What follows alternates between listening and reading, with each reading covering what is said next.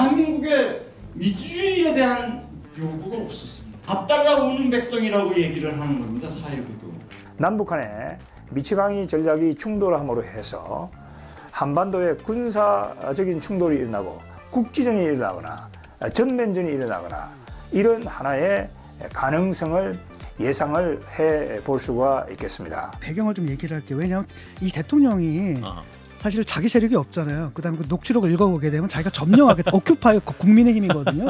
그러니까 옛날에 구호 우익들이 아닙니다. 그러니까 자기 세력을 할랜데 그 뉴라이트들이 원래 주변에 있던 사람들 다 끌어들어가지고 하나 챙기고 이들을 통해서 당을 갖다 장악을 해버리다 보니까 음흠. 주변에 있을 사람들 갑자기 주류로 다 중앙으로 다 몰려 들어가지고 음. 홍범도 사건도 일어나는 음. 거고 지금 이런 대통령의 뭐 공산 전체주의 세력이라든지 음. 그다음에 삼일절 축사, 광복절 축사 같은 참변들이 지금 일어나는 거거든요. 음.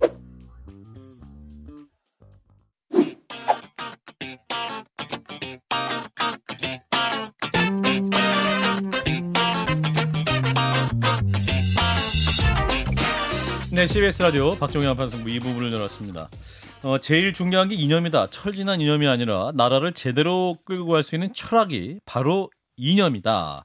윤석열 대통령이 지난 국민의힘 연찬에서 강조한 이념 발언이 알려지면서 어, 대통령의 가치관이 극우 뉴라이트 사상에 경도된 것이 아니냐라는 또 지적도 나오고 있습니다. 그래서 오늘은 뉴라이트 사상 무엇인가? 그리고 현 정부에서 어떤 인물들이 있는 것인가? 어, 해부해 보는 어, 뉴라이트 개론 개론? 예 시간을 마련해 봤습니다. 그래서 가장 잘 설명해 줄 수 있는 일타 강사. 예, 한판 승부의 무기 김수민 평론가 모셨습니다. 어서 오십시오. 네 반갑습니다. 네, 진 교수님과 김수장 안녕하세요. 인사 네, 나누겠습니다. 안녕하세요. 쑥스럽네. 이렇게 만나 이렇게 와 네. 2부에서 또 만나니까 또 새롭습니다. 자, 일단 오늘 사실 이건 추석 특집으로 아. 자연스러운데. 아, 예. 일단은 좀 실제 현황을 좀 짚어봐야 될 것 같은데 윤석열 정부 들어서 뉴라이트 인사들이 주요 보직에 앉았다 이렇게 또 기사도 나왔습니다. 저 실제로 어떻습니까? 네 곳곳에 뉴라이트 출신 인사들이 배치가 돼 있고요. 예. 대표적인 분으로는 이제 통일부의 김영호, 김영호 장관, 장관. 들 수가 있습니다. 음. 과거 뉴라이트 재단 이사를 지냈고 음흠. 교과서 포럼 운영위원을 했거든요. 이 음. 교과서 포럼이 바로 나중에 어, 뉴라이트 계열의 그 교학사 역사 교과서 음흠. 편찬으로 이어지는 음. 그런 조직입니다. 예. 그리고 좀 김영호 장관 과거 발언 중에서 최근 상황에 비춰서 좀 돋보이던 발언이 음. 어, 한국 전쟁에 대해서 국제전이다라는 음. 것을 강조하는 발언들을 했었거든요. 근데 예. 최근에 문재인 전 대통령 독후감에서 국제전이라고 표현했을 때 음흠. 국민의힘 인사들이 반박을 했기 때문에 아하. 네, 이쪽 사이에서도 좀 논쟁이 필요한 부분이 아닐까 아하. 이렇게 보이는 측면이 있습니다. 그리고 교과서 포럼 출신 인사가 또 있습니다. 음흠. 진실 화해를 위한 과거사 정리 위원회의 김광동 위원장인데요. 진실 화해를 위한 과거사 정리. 네, 위원장. 김광동 위원장 또 교과서 포럼에서 활동을 했고 예. 또 저서를 살펴보면 이승만 깨기 이승만에 씌어진 일곱 가지 누명이라든지 음흠. 박정희 새로 보기 오늘의 되살릴 일곱 가지 성공 모델 이런 저서의 공동 저자로 음. 이름을 올렸었습니다. 예. 그리고 국가교육위원회의 이배용 위원장 또 뉴라이트 출신인데요. 예. 어, 이- 이 당시 이제 이명박 정부 시절에 역사 교과서의 민주주의 표기를 자유민주주의로 바꾸는 등의. 어, 이런 이제 작업들을 주도했던 그런 인물이고 박근혜 예. 정부 때는 국정 역사 교과서 추진을 음. 또 주도했던 음. 인물이기도 합니다. 어, 비슷한 경력의 국가 마찬가지로 국가교육위원회 대통령 임명한 비상임위원으로 돼 있습니다. 강혜련 이화여대 경영학과 명예교수 음흠. 뉴라이트 전국연합 공동대표 출신이고요. 예. 그리고 한오섭 대통령 비서실 국정상황실장이 뉴라이트 전국연합 정책실장 출신입니다. 예. 김종석 규제 규제개혁위원회 민관위원장이 뉴라이트 재단 이사, 교과서 포럼 운영위원, 바른사회 시민회의 등의 단체에서 공동대표를 음흠. 지냈고요. 그리고 신지호 국무총리실 산하 정- 청년정책조정위원회 부위원장이 대표적인 뉴라이트 재단 이사 겸 또 뉴라이트 네트워크 대표였던 네, 음흠. 뉴라이트 어, 계열의 인사로 꼽히고 있습니다. 그 밖에도 어, 더 있는데요. 이제 자- 정승윤 국민권익위원회 부위원장 뉴라이트 재단에서 이사를 지냈고 예. 강규형 교육방송이사 역시도 어, 역사 국정교과서 편찬 심의위원 예. 전희경 대통령 비서실 정무 1비서관 어, 역시도 이제 역사 음. 교과서 국정화에 적극 찬성했었고 어, 뉴라이트 계열 단체에서 몸을 담았습니다. 그리고 예. 나종남 육군사관학교 교수도 뉴라이트 계열의 한국 현대사학회에서 활동을 했었고요. 예, 이분이 그러니까 이분이- 육사 홍범도 흉상 예. 철거 네, 그렇습니다. 이분이 주도했던 네. 그런 분이기도 하고 네, 그리고 뉴라이트 단체 활동보다는 일단 그냥 성향 자체가 음. 학자로서의 성향 자체가 뉴라이트 쪽으로 부각이 되어 있는 인사가 김태효 국가안보실 제1차장 음흠. 이렇게 분류할 수 있습니다. 보훈부 장관 박민식 이분도 mentality는 완전 그 어, 뉴라이트. 아, 국가보훈부 장관. 예. 박민식 네. 장관. 근데 뉴라이트 계열 인사들이 주로 이제 학자 출신이거나 시민운동가들이었기 때문에 아. 예, 예. 박 장관 같은 경우는 이제 거기 네. 원래 출신. 원래 흐름에서 배출된 인사는 아니라고 볼 수 있겠습니다. 아. 열공중. 아, 열공. 아, 열공하고 계신다. 조금만 더 보태면 그 김영호 장관 같은 경우는 그 스승이 이제 노재봉 옛날 국무총리 그분이 썼던 한국 자유민주주의와 그 적들 사실 지금 주식 투자하시는 분들 이 책 사서 읽어보시면 대통령이 앞으로 어떻게 할지가 다 보입니다. 요 틀 안에서 움직이고 있거든요. 주식이요?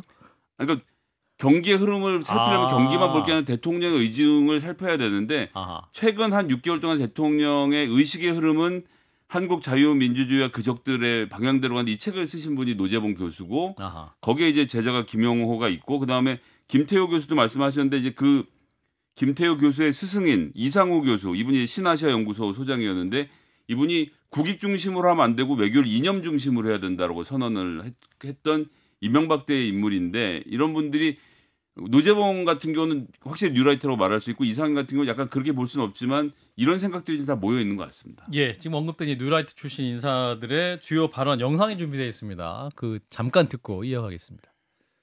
대한민국에 민주주의에 대한 요구가 없었습니다. 밥 달라 오는 백성이라고 얘기를 하는 겁니다. 4.19도. 만약에 4.19가 민주혁명이라면 4.19 이후에 민주주의 제도적으로 바뀐 게 있어야 됩니다. 아무리 북한이 핵을 가지고 있다고 하더라도 핵 전쟁도 이제는 불사하겠다라고 하는 에, 그런 입장을 내놓고 있는 겁니다. 남북한의 미치광이 전략이 충돌함으로 해서 한반도에 군사적인 충돌이 일어나고 국지전이 일어나거나 에, 전면전이 일어나거나 이런 하나의 가능성을 예상을 해 볼 수가 있겠습니다. 네, 방금 발언은 김영호 통일부 장관의 목소리였고 그 전에는 이제 4.19 관련 발언은 김광동 진실화해 위원장의 예, 발언이었습니다. 자, 이제 현황을 좀 살펴봤는데요. 이제 오늘 방송 들으신 분 중에 뉴라이트가 대체 뭐야? 뭐 하는 사람들이야? 궁금하실 분들도 많으실 것 같은데 일단 뉴라이트의 계보부터 좀 살펴보고 기원을 찾아야 될 것 같은데 뉴라이트의 대표적인 인사의 주장부터 또 잠시 듣겠습니다. 예, 이제 반일 종족주의 발언은 이영훈 전 서울대 경제학부 교수, 처음 들었던 음성은 안병직 서울대 명예교수의 음성이었죠. 네, 그렇습니다. 일단 안병직 서울대 명예교수로부터 뉴라이트의 기원을 좀 살펴볼 수가 있을 것 예. 같은데요. 어, 참고로 1936년생인 안병직 교수는 1965년부터 서울대학교 경제학부 교수로 재직을 했습니다. 음. 중간에 1986년, 87년 이때 동경대학 경제학부 교수를 지내기도 했고요. 음. 어, 나중에 이제 2006년 뉴라이트 운동이 한창 부상하던 시절에 음. 뉴라이트 재단 이사장으로 취임을 했고 음. 뉴라이트의 정신적 지주 라고 불려지는 그런 음. 지식인입니다. 음흠. 이제 안병직 교수는 박현재의 가르침을 받을 정도로 사회주의자의 길을 걸어왔었는데 어떤 계기로 사상적 전형을 하게 된 것이냐. 이제 진 네. 교수님이 보면 또 NL 계열이 굉장히 많다 이런 말씀도 많이 하셨는데. 원래 이 사람들이 이제 예. 뭐였냐면 에- 완전 NL의 그 토대가 됐던 사회 구성체론을 제공했던 사람들이거든요. 예. 식민지 반봉건 사회론이라고. 아, 아. 한국 사회가 미제의 식민지고 미제국주의 식민지고 그렇기 때문에 봉건 잔재가 남아 있다라는 겁니다. 식민지 음. 반봉건 사회라고. 그러니까 북한의 주장을 그대로 받아들인 거죠. 음. 그래서 우리가 한국의 근대화를 하려면 일단은 식민지 상태에서 벗어나야 된다는 거죠. 음. 그러니까 그 미제를 몰아내야지 한국의 근대화가 가능하다. 그래서 음. 북한과 연합해서 싸우자 이런 얘기를 하던 사람들인데, 음. 그러니까 저는 이제 PD 출신이잖아요. 예. 우리가 너무 현실에 맞지 않는다. 프롤레타리아 예. 데모크라시입니다. 여러분. 아니 아니 People's. 아 People's 아 People's 아 예, People's 어, 어, 죄송합니다. 단체. 그러니까 우리가 우리가 볼 때는 당시 한국 사회는 고도의 자본주의라는 거죠. 아니 생각해봐요. 저 철 뭐죠? 그 제철 공장도 있고 조선소도 있고 뭐 자동차도 생산하고 이런 고도로 발달한 구- 그 독점 자본주의 단계까지는 그 그런 단계인데 80년대 얘기인 예. 겁니다. 이미 그 당시에 네. 그다음에 대공업 대공업 노동자들이 있고 프로레타들이 잔뜩 있는데 예. 뭔 식민지 반봉거 사회냐라고 우리가 비판을 해서 이, 이분들이 이제 학계 학계에서 영향력이 없어졌거든요. 네. 그 다음에 확 전향을 하더니 완전히 반대 극단으로 가버린 거예요. 그 다음에 이제 본 게 갑자기 뉴라이트 음. 이렇게 돼버린 겁니다. 우리는 이제 황당한 거죠. 또 재밌는 건 뭐냐면 음. 어? 그때 어, 이사 그러니까 뭐였냐면 이제 이 사람들이 돌아서 가지고 우리 보고 막 빨갱이라고 막 이러는 거예요. 우리가 그때 제발 니네들 저 북한하고 놀지 말라라고 그렇게 음. 얘기를 했는데 얘네들이 음. 돌아서 가지고 쟤들 빨갱이에요 막 이러고 있다는 거. 이제 97년부터였나요? 북한의 대기근을 중심으로 해서 소위 말하는 민족주의 계열들이 어, 북한이란 사회랑 더 이상 같이 할 수 없다라는 생각. 그러니까 PD들은 소련이 무너지면서 생각을 많이 바꿨고 음. 이제 이 소위 말하는 뉴라이트들은 97년을 기점으로 봐야 되는데 음. 그렇게 되면서 이제 민족주의를 전면적으로 부정을 합니다. 음. 조금 전에 들으셨던 이영훈 교수의 말처럼 그러니까 민중들은 무식해서 그냥 일본만 보면 무조건 반대한다. 음. 저런 생각 가지면 안 된다라고 예전에 반사적 조건 반사적으로 일본 반대하던 사람들이 갑자기 반대로 돌아서 있으니까 음. 독립운동이라는 자체도 아니 일본의 긍정적인 점을 봐야지. 너희들이 엘리트적인 사고를 못하기 때문에 이 일제 시대에 대한 제대로 평가를 못 하게 된다. 이런 생각을 하니까 지금 독립운동에 대한 재평가를 자꾸 해야 된다는 주장 같이 포함시키고 있다는 점을 하나 말씀드리고요. 그래서 결국 이 사람들의 기본은 김광동 진실화해위원장의 얘기 나오지만 음. 살고 뭘 바꿨냐? 전 국민이 대통령 끌어내리는 제도를 만든 거 아닙니까? 이걸 인정을 안 한다는 것 자체가 엘리트에 의한 통치가 필요하고 음. 국민들은 절대로 그 이상을 해서 안 된다. 음. 이게 이번에 김용호 장관이 5천만 국민이 국민 주권을 사용하면 무정부 상태가 된다라는 음. 표현으로 다 이어져 있는 겁니다. 이게 이제 좀 전에 안병직 교수가 그런 말을 하지 않습니까? 아니 대한민국이 미국이 만들어준 국가다, 유엔이 만들어준 국가다라고 하잖아요. 예. 그러니까 우리 헌법에서는 상해 임시정부의 법통이 있는데 음. 아니다라는 겁니다. 독립운동은 기여한 바가 없고 예헤. 어차피 우리나라 해방 이게 건국 이건 다 미국이 해줬다. 그러니까 미국이 음. 은, 은, 은이, 은혜 은혜를 입었기 때문에 그때 가, 가야 된다는 거고 일본은 바로 뭐냐 일본부터 해방시켜줬는데 일본은 식민지 근대화를 했다는 겁니다. 음. 미기에 했던 조선을 갖다 근대화했기에 했기에 감사를 해야 되는데 음. 그러니까 독립운동가들은 뭐가 되는 거냐면 망국의 일- 일을 한 거예요. 음. 조선의 근대화에 반대하는 일을 한그 사람이다. 한 그렇지. 쓸데없는 짓을. 음. 그래서 지금 지워버리려고 하는 건데 재밌는 거는 뭐냐면 아니 그렇다 그런 사고라면 이승만 운동 이승만 국부 만들기를 왜 하는지 모르겠거든요. 국부는 트루먼 대통령이지. 아, 트루먼 미국 동상을 세워야지. 아, 유엔 덕분이기 때문에. 자, 김수민 평론가. 이제 특이한 점은 이제 안병직 교수 전공이 네. 역사가 아니라 경제학인데 어떻게 해도 경제학 기반으로 이 뉴라이트 사관이 발전시켜졌을까? 네네. 오히려 경제학 기반이라서 가능했다라고 가능했다. 설명할 수 있겠는데요. 아하. 참고로 뭐 경제학계 다수가 뉴라이트라거나 이런 주장은 전혀 아닙니다. 예. 그러니까 거꾸로 얘기해서 역사학계 쪽에서는 뉴라이트 쪽이 음. 발을 디딜 틈이 별로 없었어요. 왜냐하면 역사학계 쪽은 아. 조선 후기는 자본주의의 맹아가 있었고 음. 우리는 내재적으로 자본주의나 민주주의로 발전할 수 있었다라고 하는 내재적 발전론이 워낙 대세였던 것이 이제 한국의 국사학계였거든요. 음. 근데 이제 경제학계 쪽에는 이제 이 중에서도 뉴라이트 쪽 안병직 교수는 이제 경제사 경제사 쪽인데 이 이제 서울대의 이 경제사 음. 교수들 중심으로 해서 낙성대 연구소라는 집단이 만들어집니다. 예. 이쪽이 처음에 이제 아까 전에 말씀 나왔던 안병재 교수의 입장은 식민지 반 봉건 사회다. 한국 아. 사회는. 아. 근데 안병재 교수가 이거를 한번 이제 전향을 하게 되는데 예. 그것이 중진 자본주의론이었어요. 아, 중진 자본주의? 사실 80년대 경제 상황을 봤을 때는 한국의 자본주의가 고도화되고 있었고 또 삼조 호황의 시기였기 때문에 음. 어, 본인이 생각해도 식민지 반봉건 사회다라는 진단이 맞지 않았던 거죠. 그래서 반봉건 사회였으나 나름의 선진국들을 모방을 해나가면서 중진 자본주의 정도는 된다. 그러니까 아니 그 네. 중진자본주의 한상진 거고 뭐라 했냐면 식민지 반자본주의 사회라 그랬어. 아 그거는 이제 NL 쪽에서 네. 별도로 변천을 네. 해나갔고 중진 자본주의가 이제 그 한상진 교수의 중민론하고 조금 다르긴 합니다만 아. 근데 중진 자본주의까지는 뉴라이트 음. 학문이라고 보기는 어렵거든요. 아. 근데 한 번 더 나아가서 식민지 근대화론 아. 쪽으로 가게 되는 겁니다. 그러니까 식민지 시절에 실증 연구를 우리가 해 보니. 그때 상황들을 봤을 때 경제가 개발이 되고 그것 때문에 근대화된 건 맞다라고 아하. 하는 그 이론으로 넘어가게 되고 음. 정치인 중에서는 이제 김문수 민중당에서 간부를 지냈던 김문수 전 지사가 안병직 이라는 이제 스승의 영향을 어느 정도 받고 음. 이제 보수 정치 쪽으로 전향을 하게 되는 그런 계기가 됩니다. 야, 이거 뭐 완전히 거의 한판 열전 하는 것 같아요. 뉴라이트, 뉴라이트 계보를.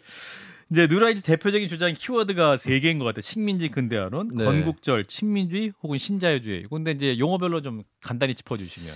네, 일단 식민지 근대화론은 이후에 그 이영훈 서울대 교수를 통해서 계속해서 이어지는 그런 내용인데 예. 어, 한국 자본주의는 이식을 통해서 정착을 했다 이렇게 음. 표현할 수 있겠고 그 이식 주체가 일본 일본이 제국주의가 제국주의였다. 시작되는 거죠. 그러니까 음. 1876년 강화도 조약 개항 때 이미 이제 지금까지 개방 체제가 유지되어 온 것이다. 음흠. 라고 보는 겁니다. 그러면서 어, 일본 제국주의를 통해서 일본의 엔 통화권에 이미 포섭이 됐고 음흠. 또 일본으로부터 자본과 기술이 자유롭게 유입되었고 음흠. 근대적 재정 제도와 근대 토지 소유권 제도가 확립됐다 라고 하는 것이 이 음. 뉴라이트의 식민지 근대화론 네, 입장의 요지라고 예. 볼 수가 있겠습니다. 그리고 건국절 같은 경우도 뉴라이트가 지핀 대표적인 논쟁 소재였는데요. 예. 어, 쉽게 얘기하면 허- 건국 시점은 1948년 8월 15일 대한민국 정부 수립일이다. 음. 라는 대목이었는데 여기서 좀 재미난 지- 측면이 있습니다. 음. 예전에 김대중 노무현 전 대통령이 1948년 8월 15일을 건국 시점으로 보는 글이라든지 말을 남긴 적이 있었거든요. 아하. 근데 거꾸로 이승만 전 대통령이 1919년 건국설을 폈었다. 아하. 양쪽이 좀 교차돼서 아하. 진행이 되는 그런 측면이 있다는 걸 말씀을 드리겠고요. 음. 그리고 경제적으로는 시장주의를 강력하게 옹호를 합니다. 그래서 뉴라이트 교과서를 보면 좀 특이했던 대목이 음. 5.16 군사 쿠데타 이후에 5.16 군정이 폈던 정책들을 부정적으로 평가합니다. 아, 그때- 국가주도였기 때문에 예, 그때 어떤 기업인들 경제개발 5개년 계획. 기업인들 구속시키고. 화폐 개혁하고 이런 것들은 부정적으로 보는 데 아. 근데 이 시점부터 박정희 정부를 긍정적으로 보는 것이 정경련이 설립됐던 전경련. 예, 그래서 음. 예전에 진중권 교수님도 한번 진단하신 적이 있는데 박정희 전 대통령 옹호파들은 두 부류로 나뉜다. 음. 한 부류는 이제 국가 주도, 박정희의 영도력 이쪽에서 찾는 부류가 있고 나머지는 놓고 뭐 이런 그렇죠. 거. 나머지는 음. 박정희가 저 경제인에게 맡겼기 때문에 가능했다. 아하. 시장주의론인데 아하. 말하자면 뉴라이트는 후자 쪽에 가깝다라고. 볼 수가 있겠습니다. 예. 그리고 이제 친미 성향도 강하게 드러나는 부분인데 근데 친미도 이제 어떤 친미냐 에서 좀 갈릴 수도 있겠죠. 근데 음. 뉴라이트의 친미는 이제 해방 정국 때부터 해서 강력한 반공주의를 선택한 것이 잘했다.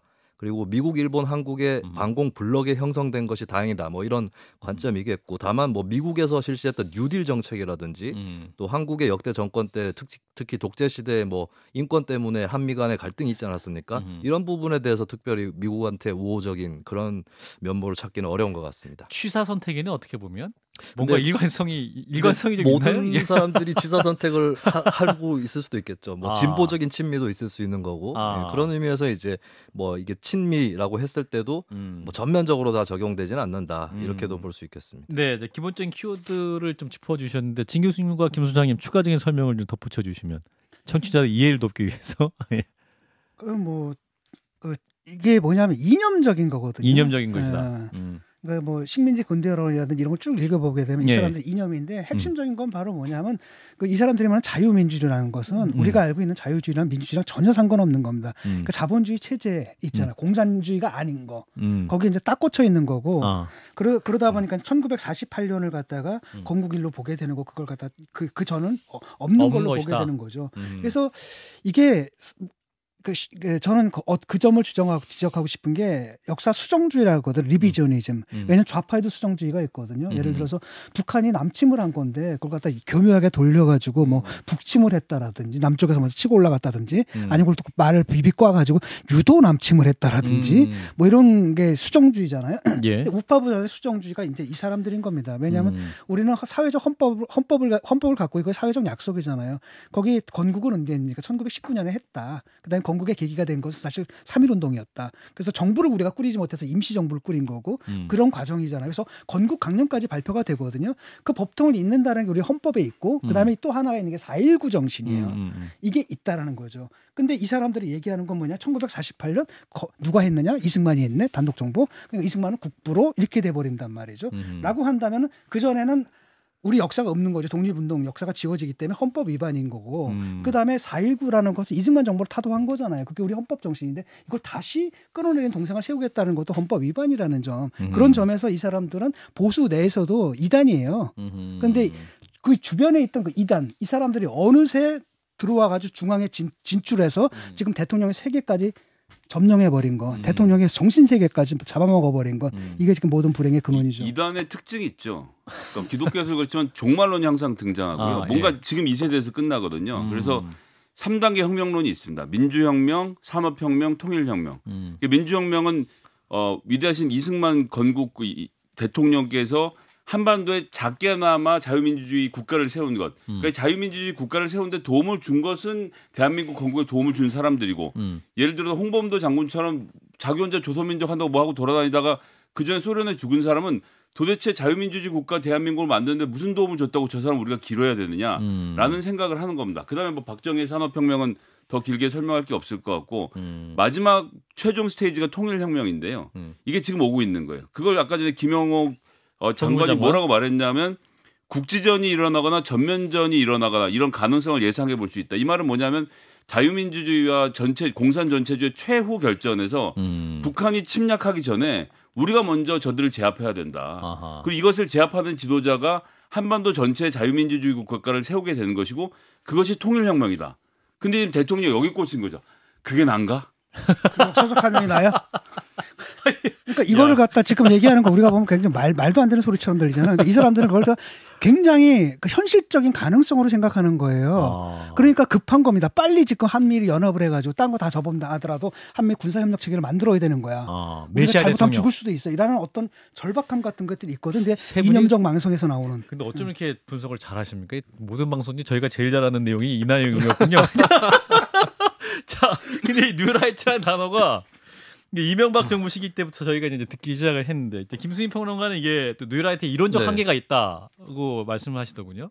어떤 부분이 이론적 한계다? 아, 이론적 한계를 말씀을 드리면 일단 뉴라이트는 민족주의에 대해서 상당히 비판적이거든요. 음. 근데 우리가 내셔널리즘이라고 했을 때 민족주의 말고 국가주의도 있는데 그렇죠. 그렇다면 국가주의에 대해서는 비판적인가 아. 했을 때 이제 독재 정권이라든지 음. 일본이라든지 음. 이 제국주의라든지 여기에 대해서 음. 어, 비판적인가 하는 부분이 있는 것이고 그리고 탈민족주의를 하려면 이제 국가주의가 아니라 뭐 개인주의 정도 돼야 이제 탈민족주의라고 할 수 있을 텐데 음. 뭐 예를 들어서 뭐 개인의 자유나 인권 여기에 대해서 뭐 최근에 어떤 그걸 신장시키려는 노력을 했었는가 음. 이런 부분에 있어서는 좀 젊은 세대한테도 가닿기 어려운 측면이 음. 일단 있었던 것이 한계의 점이었던 것 같습니다. 음. 그 대중적으로 또 한계의 지점이 사실 이제 뉴라이트 쪽에서는 반박을 하고 싶겠지만 친일적인 거 아니냐 음. 이런 혐의가 있는 것인데 예. 어, 사실 뭐 식민지 근대화론을 예로 들어본다면 음. 그건 박정희 전 대통령을 긍정적으로 평가하는 대중이 음. 식민지 근대화론을 과연 우호적으로 평가할까? 그러네요. 우리도 음. 한번 잘 살아보세. 이거 전형적인 내재적 발전론의. 멘탈리티고 음. 실제로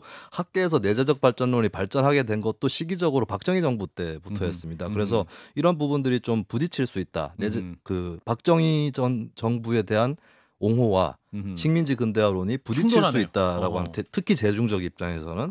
예, 그런 측면이 또 있다고 볼 수 있겠습니다. 예. 자, 그런데 왜 이 뉴라이트의 시각이 윤석열 정부 들어오면 다시 한번 존재감을 드러내고 있는 것인가? 이 분석이 필요할 것 같은데. 네, 사실 뉴라이트는 이명박 정부 때 본격화된 것이 아니라 노무현 정부 때부터 아, 본격화됩니다. 그랬군요. 보통 어떤 운동이 뜰 때는 그와 음. 반대되는 성향의 정부일 때 아하. 예, 뜬다는 법칙이 있는 거거든요. 예, 예. 그러니까 뉴라이트가 2004년 총선 이후부터 본격화됐다고 볼 수 있는데 그때가 어떤 시절이냐? 86 운동권 세력이 정치권에서 확고하게 주류로 자리 잡았다 싶을 때 음. 예, 그들의 반기를 드는 세력들이 또 나오는 것이죠. 마찬가지로 이번에도 음. 어, 지난 민주당 정부를 거치면서 아하. 어, 또 정부가 다른 정부가 출범을 했기 때문에 아. 민주당에게 대적해야 된다. 음흠. 이념적인 무장이 필요하다. 음흠. 이런 것들이 다시 환기가 되는 것이고 음. 나아가서는 사실 국민의힘이라든지 현재 집권 세력을 봤을 때 박근혜 음. 전 대통령 파면을 거치면서 음. 리더십의 공백 상태가 상당히 있다는 말이죠. 이것도 2004년 이후에 그 당시 노무현 전 대통령에 대한 탄핵 시도 역풍 음. 때문에 한나라당이 크게 공경에 처해있던 시절에 뉴라이트가 부상을 했듯이. 지금도 국민의힘에 뭔가 우리가 집권은 다시는 했지만 음흠. 내용이 좀 부족하지 않느냐. 음흠. 라고 하는 이런 인식이 있을 때 이제 뉴라이트가 다시 어, 음. 정권의 핵심부로 들어오게 됐다 라고 볼 수가 있겠고 저는 이제 전반적으로 좀 이 뉴라이트 결국에 86세대 주류 운동권 출신들하고 대적을 하는 그런 구도인데 음. 이것이 이제 어떻게 보면 사회 경제 정책보다는 아직까지 역사 뭐 예를 들어서 언론 음. 뭐 검찰이라든지 이런 권력 문제 권력 음. 기관 이런 것들에 조금 더 정치적 논쟁이 더 크게 일어나는 음. 이런 한국 사회 상황도 좀 양쪽으로 다 반영이 되고 있는 거 아닌가 이렇게 보여집니다. 1분 남았는데 우려점 말씀해 주세요. 김 아, 교수님. 그러니까 그, 그 배경을 좀 얘기를 할게요. 왜냐하면 이 대통령이 아하. 사실 자기 세력이 없잖아요. 그다음에 그 녹취록을 읽어보게 되면 자기가 점령하겠다. 오큐파이 국민의힘이거든요. 그러니까 옛날에 구호 우익들이 아닙니다. 그러니까 자기 세력을 할랜데 그 뉴라이트 애들이 원래 주변에 있던 사람들 다 끌어들어가지고 하나 챙기고 이들을 통해서 당을 갖다 장악을 해버리다 보니까 음흠. 주변에 있을 사람들이 갑자기 주류로 다 중앙으로 다 몰려 들어가지고 음흠. 홍범도 사건도 일어나는 음. 거고 지금 이런 대통령의 뭐 공산 전체주의 세력이라든지 그다음에 음. 삼일절 축사, 광복절 축사 같은 참변들이 지금 일어나는 거거든요. 네. 음, 그래요. 시간이 이제 없어서요. 여기서 이제 마무리해야 될 것 같습니다. 이거 한 번 더 나중에 한번 2부를 해야 될 것 같네요. 아, 한 주석집으로. 2시간 정도 아, 필요해요. 알겠습니다. 2시간 정도. 자, 명쾌한 분석해 주신 분 김수민 평론가였습니다. 고맙습니다. 네, 감사합니다. 좋아요. 구독! 알림 설정.